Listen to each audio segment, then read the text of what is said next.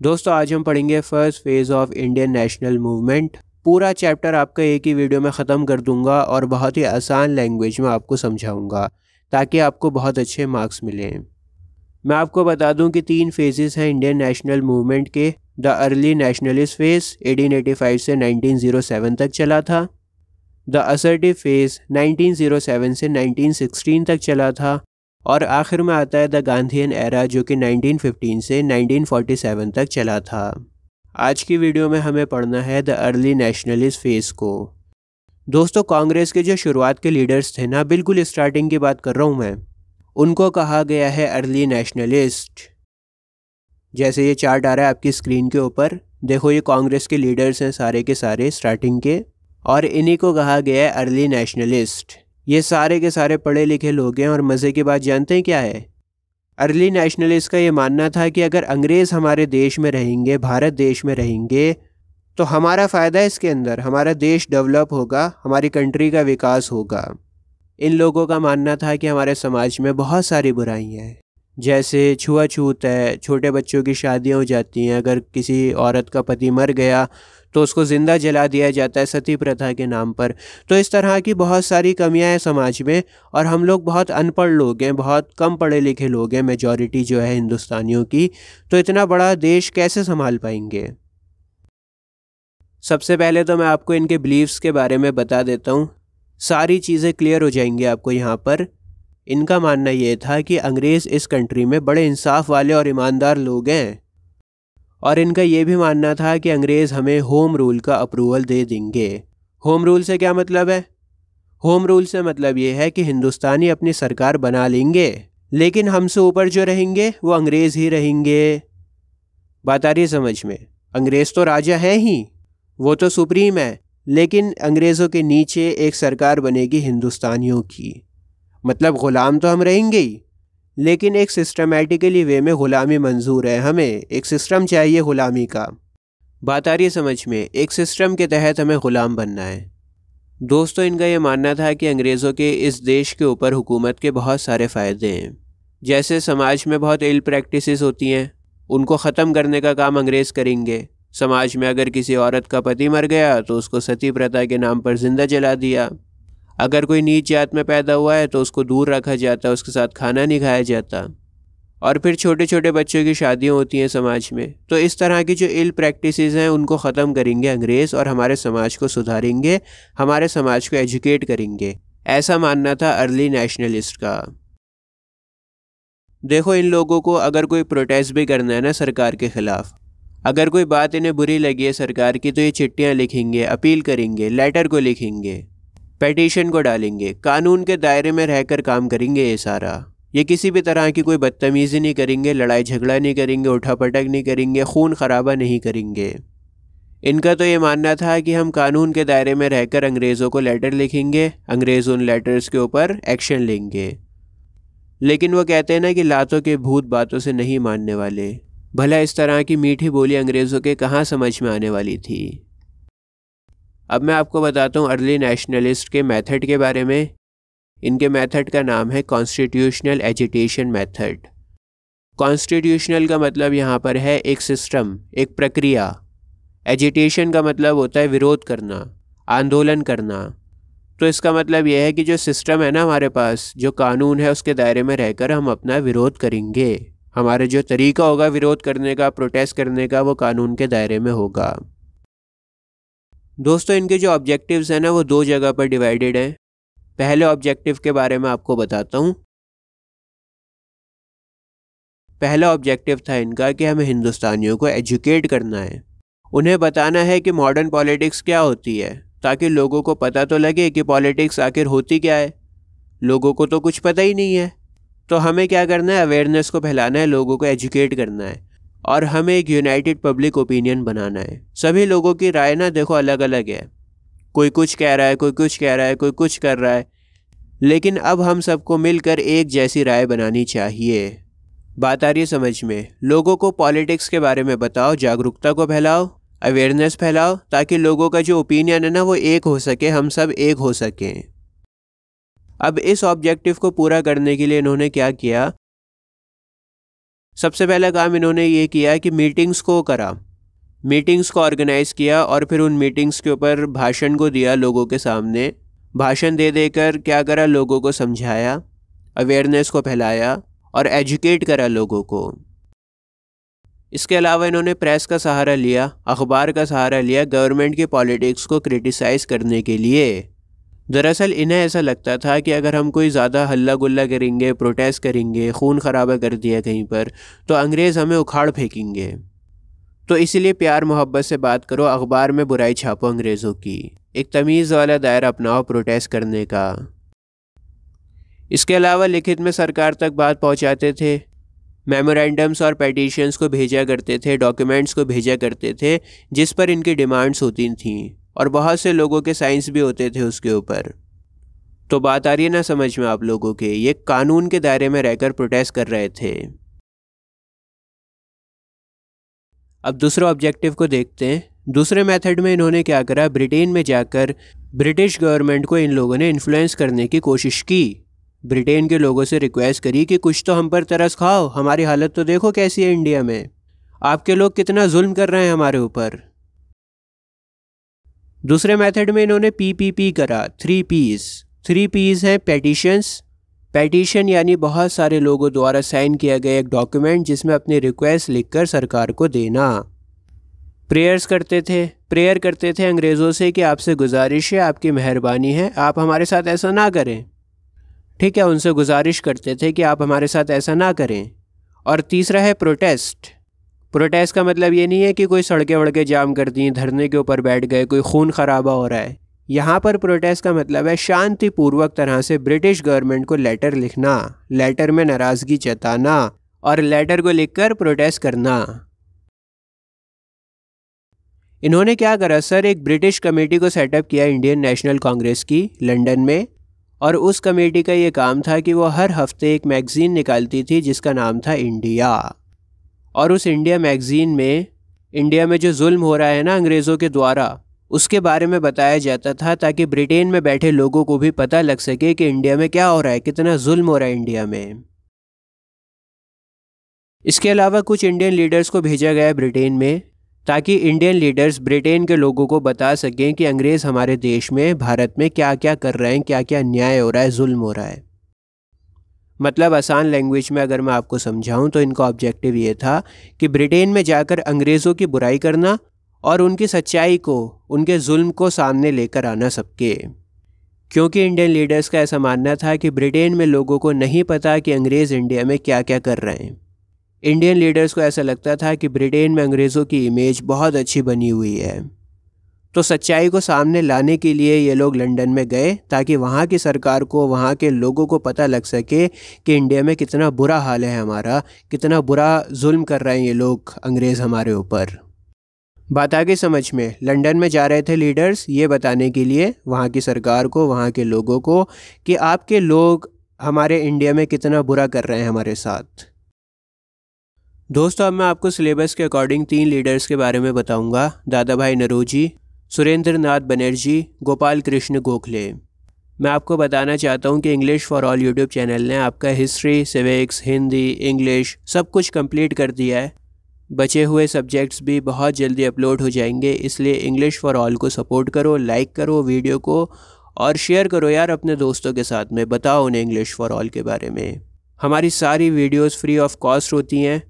हम आपसे बस इतना चाहते हैं कि आप हमारी वीडियो को ज़्यादा से ज़्यादा लोगों के साथ में शेयर करें, क्लासमेट्स को बताएँ। इतना तो आप कर ही देंगे, मुझे उम्मीद है। तो चलिए सबसे पहले बात करते हैं दादा भाई नरोजी की। दादा भाई नरोजी को grand old man of India कहा जाता है, क्योंकि ये बहुत बूढ़े थे, लेकिन बूढ़े होने के बाद भी इन्होंने देश के लिए बहुत मेहनत करी है और बहुत एफर्ट डाला है। आखिरी सांस तक इन्होंने देश के लिए मेहनत करी है। दोस्तों, इन्हें इंडिया का अनऑफिशियल एम्बेसडर माना जाता है। देखो एम्बेसडर वो होता है जो आपके देश को रिप्रेजेंट करता है दूसरे देश में जाकर। ठीक है, लेकिन यहाँ पर लिखा हुआ है अनऑफिशियल एम्बेसडर इसका मतलब ये है कि दादा भाई नरोजी को किसी ने भी एम्बेसडर नहीं बनाया था। ऑफिशियल नहीं थे, किसी ने भी नहीं बनाया उन्हें एम्बेसडर ये ख़ुद एम्बेसडर बन गए थे। यार इन्होंने इतना बढ़िया काम किया बाहर जाकर, इतना काम किया, सारी इंडिया की ज़िम्मेदारी अपने कंधों पर ले ली, लंदन में जाकर इंडिया को रिप्रेजेंट करा। तो जब इन्होंने इतना काम किया ना, रिप्रेजेंट इंडिया को बार बार किया लंदन में जाकर तो ये अनऑफिशियल एम्बेसडर बन गए, खुद ब खुद एम्बेसडर बन गए।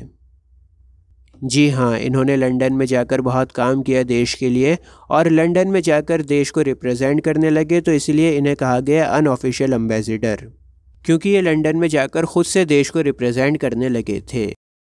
अब कैसे कैसे इन्होंने रिप्रेजेंट किया इंडिया को लंदन में, ये मैं आपको बता देता हूँ।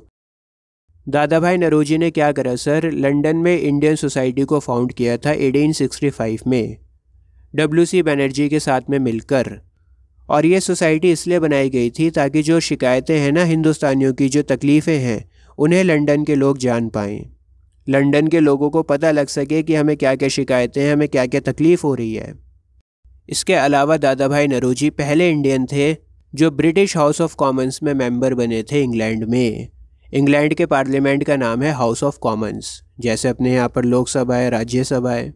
तो इंडिया का जो लोकसभा है ना, वैसे ही इंग्लैंड में है हाउस ऑफ़ कॉमन्स। तो दादा भाई नरोजी पहले इंडियन मेंबर थे इंग्लैंड के पार्लियामेंट के। दोस्तों दादा भाई नरोजी का ये मानना था कि जो एजुकेटेड पढ़े लिखे हिंदुस्तानी है ना, उन्हें हाई पोस्ट पर अपॉइंट करना चाहिए। और काफ़ी इन्होंने मेहनत करी इंग्लैंड के पार्लियामेंट में, अपनी आवाज़ उठाई और उन मेहनतों की वजह से ही क्या हुआ आईसीएस का एग्ज़ाम इंडिया में भी होने लगा। इससे पहले आईसीएस एग्ज़ाम सिर्फ़ और सिर्फ़ इंग्लैंड में होता था। अगर आपको आईसीएस में बैठना है तो इंग्लैंड में जाना पड़ेगा। लेकिन दादा भाई नरोजी ने आवाज़ उठाई कि जो एजुकेटेड हिंदुस्तानी है, पढ़ा लिखा हिंदुस्तानी है, उसको हाई पोस्ट पर अधिकार है पूरा पूरा होने का। तो इस वजह से फिर इंडिया में भी ये एग्ज़ाम होने लगा। दोस्तों दादा भाई नरोजी ने ईस्ट इंडिया एसोसिएशन को भी फाउंड किया था लंदन में। लंदन में एक एसोसिएशन थी, ईस्ट इंडिया एसोसिएशन, जिसे दादा भाई नरोजी ने बनाया था। और इस एसोसिएशन की ब्रांचेस हिंदुस्तान में थीं, कोलकाता में, मुंबई में और चेन्नई में। एसोसिएशन कहाँ पर बनी? लंदन में बनी, लेकिन इसकी ब्रांचेस कहाँ पर थी? हिंदुस्तान में थी, कोलकाता, मुंबई और चेन्नई में।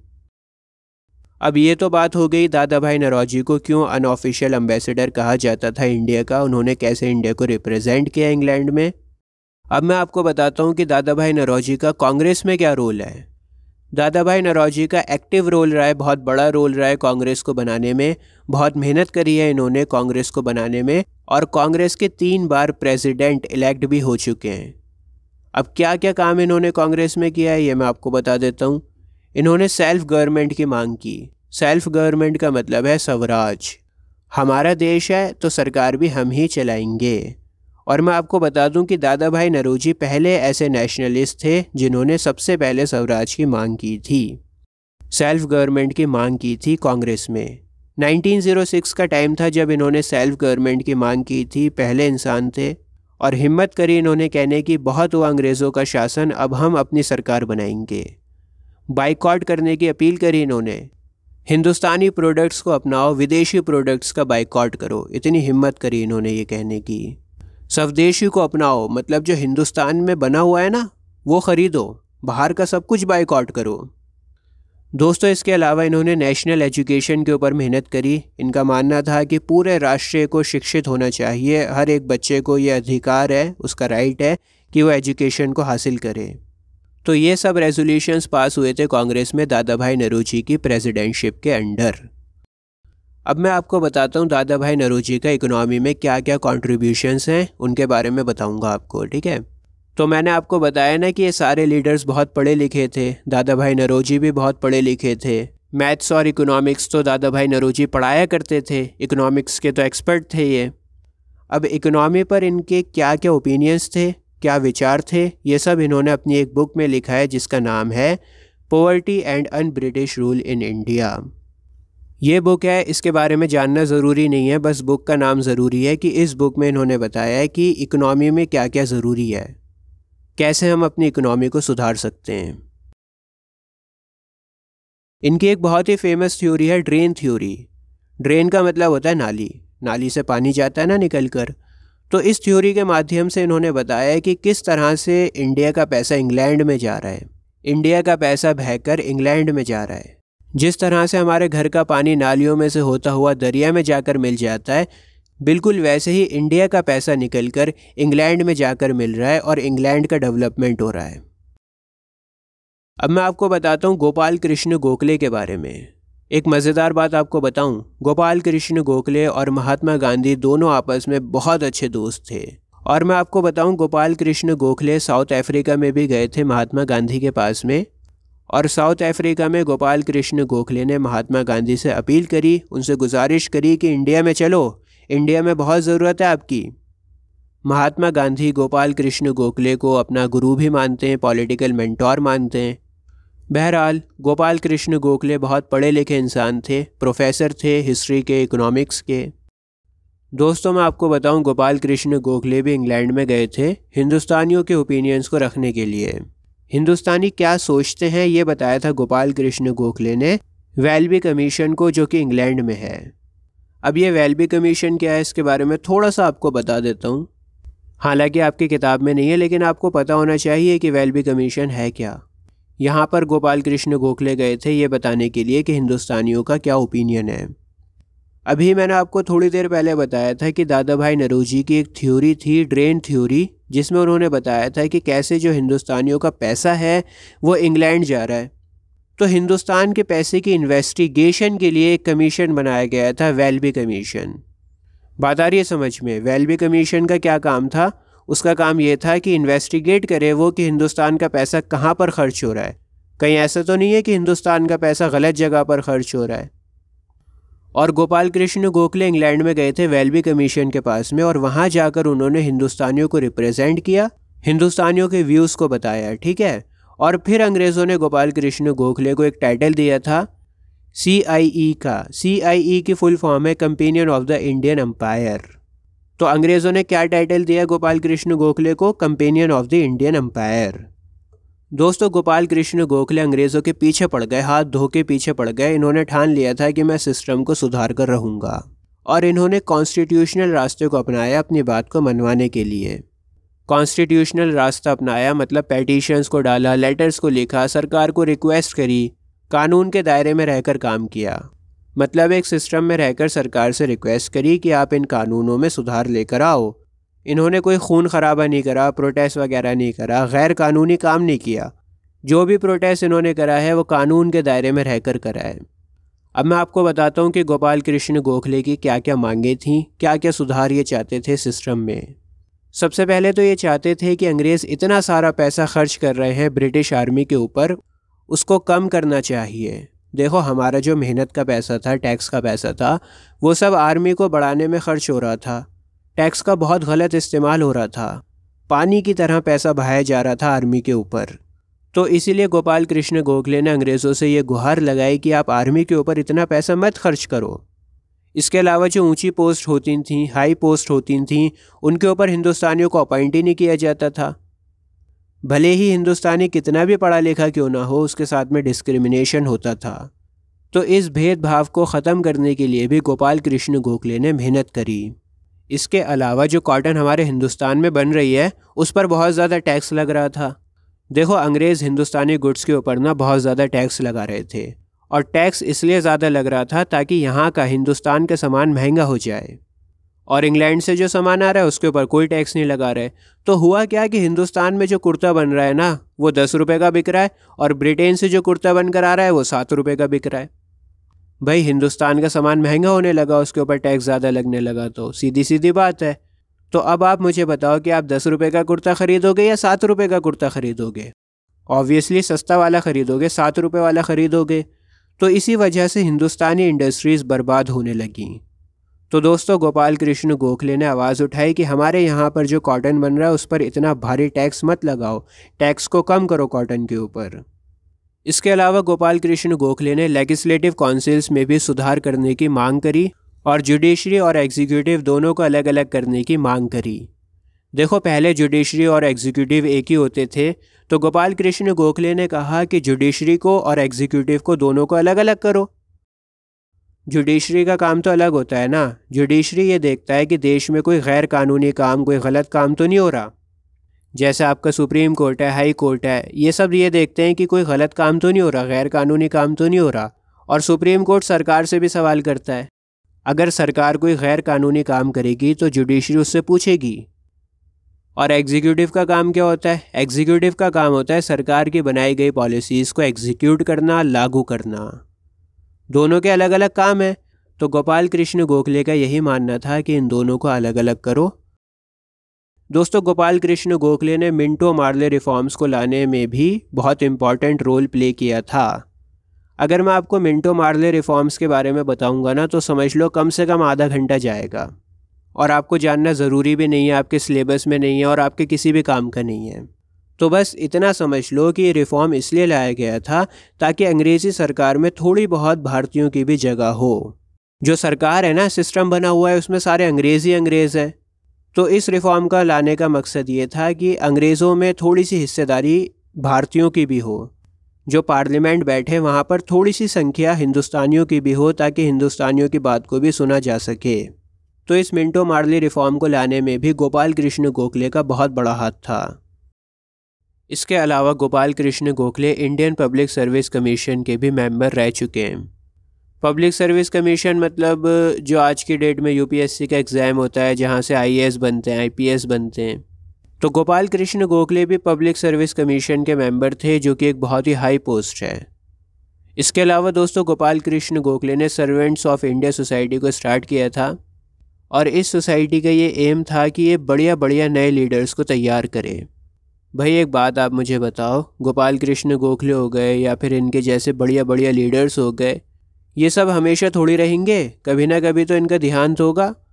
तो देश में बढ़िया नए लीडर्स को बनाने की ज़िम्मेदारी इस सोसाइटी ने ली, जिसका नाम है सर्वेंट्स ऑफ़ इंडिया सोसाइटी दोस्तों, इस सोसाइटी का दूसरा एम ये था कि जो दबे कुचले, नीचे दबे हुए लोग हैं ना, उन्हें ऊपर लेकर आ सके। जैसे फॉर एग्ज़ाम्पल मान लो कोई नींबू पानी बेच रहा है। सोसाइटी ने उस नींबू पानी बेचने वाले को अच्छे से ग्रूम करा, उसको ट्रेन किया, उसको एजुकेट करा और बाद में जाकर वो एक बहुत बड़ा लीडर बन गया। तो इस तरह से जो दबा कुचला नींबू पानी वाला था, नींबू पानी बेच रहा था, वो एक बहुत बड़ा लीडर बन गया। उसका विकास हो गया। इसके अलावा दोस्तों, इन्होंने एजुकेशनल मूवमेंट्स को बढ़ावा दिया और ख़ास तौर से जो विमेन एजुकेशन मूवमेंट्स थे ना देखो, मर्द तो थोड़े बहुत पढ़े लिखे भी थे। हालाँकि मेजॉरिटी तो अनपढ़ की थी उस ज़माने में, लेकिन मर्द थोड़े बहुत पढ़े लिखे थे। लेकिन औरतें तो ना के बराबर पढ़ी लिखी थीं। बहुत कम बहुत कम, लाखों में कोई एक। और औरतों का पढ़ा लिखा होना बहुत ज़रूरी था। गोपाल कृष्ण गोखले ये बात बहुत अच्छी तरह से जानते थे कि अगर देश की तरक्की करनी है तो फिर हिंदुस्तानियों को एजुकेट होना बहुत ज़रूरी है। तो जितने भी एजुकेशन मूवमेंट्स थे, उन सबको इन्होंने सपोर्ट करा, ख़ास तौर से जो औरतों की एजुकेशन के लिए होते थे। दोस्तों, अब मैं आपको बताता हूँ कि गोपाल कृष्ण गोखले का क्या रोल रहा इम्पीरियल लेजिस्लेटिव काउंसिल में। इम्पीरियल लेजिस्लेटिव काउंसिल अंग्रेज़ों के ज़माने का पार्लियामेंट का नाम है। जैसे आज के ज़माने में राज्यसभा, लोकसभा कहते हैं, वैसे ही आज़ादी से पहले इम्पीरियल लेजिस्लेटिव काउंसिल था। बिल्कुल आसान करके पढ़ा रहा हूँ आपको, ठीक है? मेरा ऐसे ही तरीका पढ़ाने का। तो अब क्या हुआ दोस्त? गोपाल कृष्ण गोखले ने लेजिस्लेटिव काउंसिल में जाकर सबसे पहले मांग करी कि नमक के ऊपर टैक्स को कम किया जाए। और कॉटन के ऊपर जो टैक्स लगता है, उसको ख़त्म होना चाहिए। ठीक है, नमक के ऊपर टैक्स को कम करो और कॉटन के ऊपर ख़त्म करो। दूसरी मांग ये थी कि ज़मीन पर जो टैक्स लगता है, उसमें भी कमी होनी चाहिए। इसके अलावा फ़िज़िकल पॉलिसीज़ में भी चेंज करने को कहा था गोपाल कृष्ण गोखले ने। फ़िज़िकल पॉलिसीज़ होती हैं सरकार की, वो पॉलिसीज़ जहाँ पर वो ये डिसाइड करती है सरकार कि हमारा टैक्स का पैसा कहाँ कहाँ पर खर्च होगा। जैसे फेबररी के महीने में आपने अक्सर देखा होगा टीवी पर बजट का सेशन आता है, घर के बड़े देखते हैं बैठकर। फाइनेंस मिनिस्टर आके बताते हैं कि दस हज़ार करोड़ रुपए रोड के ऊपर खर्च होगा, एक लाख करोड़ रुपए गरीबों में बांटा जाएगा, वगैरह वगैरह। तो उन पॉलिसीज़ में भी चेंज करने को कहा।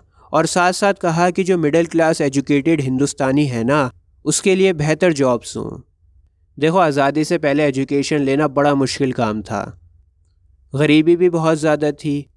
तो एक हिंदुस्तानी इतनी मेहनत करके अगर एजुकेशन ले रहा है तो कम से कम वो इतना तो डिज़र्व करता है कि उसको एक अच्छी जॉब मिले। दोस्तों, अब आखिर में हम पढ़ेंगे सुरेंद्र नाथ बनर्जी के बारे में। मैं आपको बता दूँ कि सुरेंद्र नाथ बनर्जी पहले इंडियन थे जिन्होंने इंडियन सिविल सर्विस एग्ज़ामिनेशन को क्रैक किया था। देखो, आज के ज़माने में भी सिविल सर्विस का एग्ज़ाम निकालना बड़ा मुश्किल काम है, ठीक है? जबकि आज आप आराम से पढ़ाई कर सकते हो, आपके पास छत्तीस सहूलियतें हैं। लेकिन सोचो, उस ज़माने में कितना मुश्किल होगा। और ये एग्ज़ाम मैं आपको बताऊँ कि इंडिया में भी नहीं होता था। इस एग्ज़ाम को क्रैक करने के लिए आपको इंग्लैंड में जाना पड़ता था और इंग्लिश में होता था एग्ज़ाम। तो सुरेंद्र नाथ बनर्जी पहले इंडियन बने थे इस एग्ज़ाम को क्रैक करने वाले और एग्ज़ाम क्रैक करने के बाद ये बन गए असम के मजिस्ट्रेट। लेकिन जब ये असम के मजिस्ट्रेट बनकर गए तो इन्होंने देखा कि हिंदुस्तानियों के साथ में तो बड़ा डिस्क्रिमिनेशन होता है, काले गोरे रंग का बड़ा भेदभाव होता है यहाँ पर तो। चाहे हिंदुस्तानी कितना ही पढ़ ले, कितने ही उसकी अच्छी पोस्ट हो हाई पोस्ट हो, लेकिन उसको रिस्पेक्ट ही नहीं मिलती। तो इन्होंने अंग्रेज़ों के डिस्क्रिमिनेशन पर आवाज़ उठाने की ज़रूरत करी, जिसकी वजह से इन्हें डिसमिस कर दिया गया। मैजिस्ट्रेट की पोस्ट से डिसमिस कर दिया गया था, क्योंकि ये अंग्रेज़ों के ख़िलाफ़ आवाज़ उठा रहे थे। अब बात करते हैं इनके कॉन्ट्रीब्यूशंस की। दोस्तों सुरेंद्र नाथ बनर्जी ने एक संस्था बनाई थी, जिसका नाम था इंडियन एसोसिएशन और इंडियन एसोसिएशन का काम था अंग्रेज़ों की गलत पॉलिसीज़ का विरोध करना। 1876 में बनाया गया था इंडियन एसोसिएशन को, और काम मैंने आपको बताया कि अंग्रेज़ों की गलत पॉलिसीज़ का प्रोटेस्ट करना, विरोध करना। इंडियन एसोसिएशन का एम ये था कि वो हिंदुस्तानियों को एजुकेट करे। हिंदुस्तानियों को एजुकेट करके पता है क्या होगा? जो बिखरा हुआ है ना हिंदुस्तानी, वो एक हो जाएगा। उसका जो ओपिनियन है वो एक हो सकेगा। सभी लोगों का एक ओपिनियन बन सकेगा, और सब मिलकर अंग्रेज़ों के ख़िलाफ़ लड़ सकेंगे। ये पॉसिबल था एजुकेट करके हिंदुस्तानियों को। और जब आप एजुकेट करोगे तो क्या होगा? जागरूकता फैलेगी लोगों में। लोगों को पॉलिटिक्स के बारे में पता लगेगा, लोगों को राइट्स के बारे में पता लगेगा, उन्हें पता लगेगा कि कैसे वो अपने राइट्स के लिए, अपने हक के लिए आवाज़ उठा सकते हैं। दोस्तों सुरेंद्र नाथ बनर्जी ये चाहते थे कि एक ऐसी ऑर्गेनाइजेशन होनी चाहिए जिससे सभी हिंदुस्तानी जुड़ सकें। एक बहुत बड़े लेवल पर ऑल इंडिया लेवल के ऊपर एक ऑर्गेनाइजेशन होनी चाहिए, जिसके अंडर सभी लोग आएँ। तो इन्होंने क्या करा इंडियन नेशनल कॉन्फ्रेंस को बनाया, जिसका पहला सेशन था 1883 में। कॉन्फ्रेंस को बिठाया ऑल इंडिया लेवल पर 1883 में, और यही कॉन्फ्रेंस बाद में जाकर इंडियन नेशनल कांग्रेस में जा मिली। इनकी कॉन्फ्रेंस का और इंडियन नेशनल कांग्रेस का दोनों का एक ही एम था, दोनों ये चाहते थे कि लोगों को एक प्लेटफॉर्म मिले अपनी बात को रखने का। तो इंडियन नेशनल कांग्रेस में जब ये जाकर मिले तो इन्होंने क्या करा? कांग्रेस को और मज़बूत बनाया। इंडियन नेशनल कांग्रेस तो आपको पता ही होगा, जो कांग्रेस है आज के टाइम में पॉलिटिकल पार्टी है चाचा नेहरू की कांग्रेस तो सुरेंद्र नाथ बनर्जी ने कांग्रेस को मज़बूत बनाने का काम किया, और ये दो बार कांग्रेस के प्रेसिडेंट भी रह चुके हैं। 1895 में बने थे, और फिर 1902 में बने थे। दोस्तों, अब मैं आपको सुरेंद्र नाथ बनर्जी के पॉलिटिकल आइडियाज़ के बारे में बता देता हूँ। देखो, एक न्यूज़पेपर था बंगाली नाम का। बंगाली ही नाम था अखबार का और इस अखबार के एडिटर थे सुरेंद्र नाथ बनर्जी। मैं आपको बहुत सी वीडियोस में बता चुका हूँ कि अखबार एक बहुत अच्छा मीडियम होता है अपनी बात को लोगों तक पहुँचाने का। उस ज़माने में अखबार लोग पढ़ा करते थे, इंटरनेट तो था नहीं, टीवी तो था नहीं। तो सुरेंद्र नाथ बनर्जी ने अपने ओपिनियंस को छापा अखबार में और अखबार का इस्तेमाल किया लोगों को समझाने के लिए। लोगों को देश में खड़ा होने के लिए मजबूर करा, अंग्रेज़ों से लड़ने के लिए मजबूर करा। बात आ रही है समझ में? इसके अलावा इन्होंने एक बुक भी लिखी है नेशन इन द मेकिंग और इस किताब में इन्होंने समझाया है कि कैसे हम अपने देश में अपनी सरकार सेल्फ गवर्नमेंट को बना सकते हैं। दोस्तों, अभी आपके स्क्रीन के ऊपर एक प्लेलिस्ट आ रही है। इस प्लेलिस्ट पर क्लिक करके आपको आईसीएससी हिस्ट्री और सिविक्स के सारे चैप्टर्स मिल जाएँगे। एक एक कॉन्सेप्ट आपका क्लियर करा है, बहुत ही आसान लैंग्वेज में आपको सब कुछ पढ़ाया है। आज के लिए बस इतना ही, जय हिंद।